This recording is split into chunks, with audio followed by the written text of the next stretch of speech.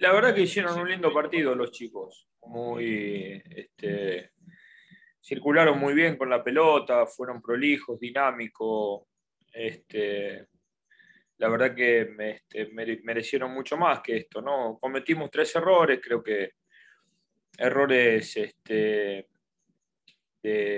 muy puntuales y, individuales que hicieron que el rival se pudiese llegar a los goles, pero este, tuvieron una, una linda participación y lo hicieron con mucho entusiasmo.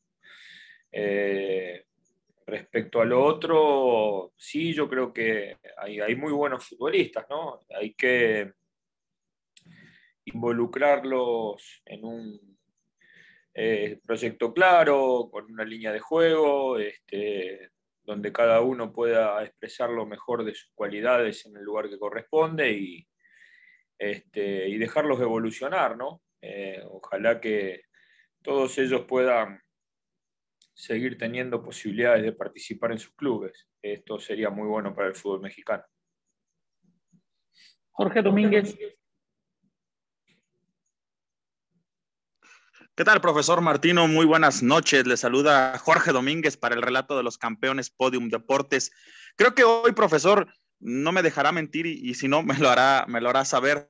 Creo que el resultado pasa a segundo término cuando se prueban jugadores como Aguirre, como los jugadores de León, como Osvaldo, que ya, que ya está más que probado en la selección mayor, pero algunos otros. El resultado quizá pasa a segundo término porque me imagino que el cuerpo técnico el día de hoy ve la capacidad que tienen, la madurez que tienen a la hora de vestir la playera de la selección. Un poco más pegado a lo que mencionó mi compañero anteriormente, de estos chicos, profesor, ¿tendrán la oportunidad de poder vestir la playera de la selección ya no en eliminatorias, sino en torneos internacionales? Bueno, como dije antes, depende de la evolución que ellos este, sigan teniendo. Hay cuatro o cinco de estos chicos que habitualmente vienen a las convocatorias, el caso de Osvaldo, el caso de, de Uriel, del Piojo. Este, la verdad que ellos ya hace un tiempo largo que están con nosotros, este, Uriel y el Piojo desde, casi desde el inicio, y el, y el resto tratando de buscarse un lugar como, como, lo tienen que hacer y como intentaron hacerlo esta noche. Después este, el tiempo dirá si sus participaciones son más frecuentes en el corto o en el mediano plazo, pero creo que están, están yendo por un, por un muy buen camino. Alejandro Orbañanos. ¿Qué tal, profe? Qué gusto saludarlo. Buenas noches, gracias, Isra. Alejandro Bañanos para Marca Claro y Claro Sports.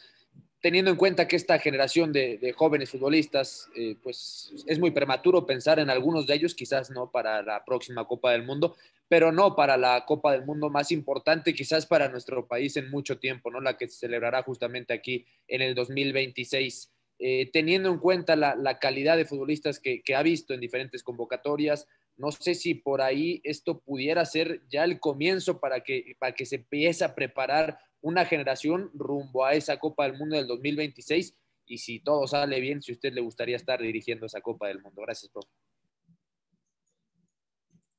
Bueno, lo que creo es este, mi presencia o no es eh, es un hecho bastante secundario. Me parece que acá lo más importante es ir construyendo un proyecto con, con chicos que tengan buenas cualidades. Estos chicos, muchos de ellos han, han este, venido teniendo proceso de selección, eh, selección mayor, selección sub-20, selección olímpica. Y la verdad que lo que se necesita es que ellos se puedan ir consolidando en sus clubes, ¿no? que tengan posibilidad de jugar, que tengan posibilidades de competir que tengan este, igualdad de condiciones de pronto con, algún extranjero que pueda ocupar su posición. Eh, en la medida que esto suceda, seguramente el futuro puede ser este, este mucho mejor. Eh, de todas maneras, hay mucho tiempo por delante, creo que no hay, que apresurarse, tampoco hay que hacer sentencias este, desmedidas y que cree un compromiso y una obligación y lo llene de presión a estos jóvenes, hay que dejarlos evolucionar, crecer y están yendo por buen camino, como dije antes. León Lecanda. León Lecanda. Sí, muchas gracias, Irra. Buenas noches, profesor Martino, León Lecanda de ESPN. Yo quisiera preguntarle, con las visitas a Cincinnati contra Estados Unidos y Edmonton frente a Canadá, ¿cuál sería la forma ideal para cerrar el año de esta selección mexicana? ¿Qué le gustaría a usted justamente eh, terminar en noviembre con estos dos partidos el 2021 con la Selección Nacional de México? Gracias, profesor. Bueno, lo que esperamos todos, poder hacer buenos partidos y fundamentalmente sacar los seis puntos. Creo que eso es lo que nos acercaría más al objetivo, lo que nos daría más tranquilidad casi para cerrar el año. Eh, nos seguiría posicionando muy bien en, en, las eliminatorias. Sabemos que los dos partidos son muy complejos, los dos partidos son fuera de casa.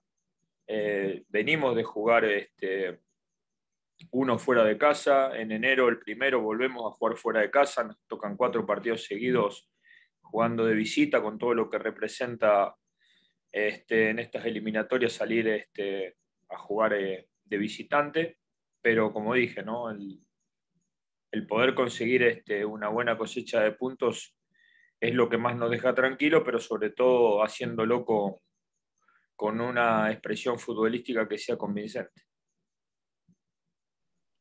Edgar Luna. Buenas noches, profesor eh, Edgar Luna del Universal. Profesor, con, todo lo que pasó en esta convocatoria que, que se metió el, el, juego en una fecha que no es FIFA, este, y, la dificultad que hay para, digamos, armar una lista por, por, por, las, por las cuestiones de clubes, ¿vale la pena este, hacer estos juegos este, tan alcanzador, tan con poco tiempo de preparación? Sí, sí le vio este pues avance, valió la pena ir, ir a Ecuador con, ir contra Ecuador con, con estas dificultades que hubo para, para armar una, una lista?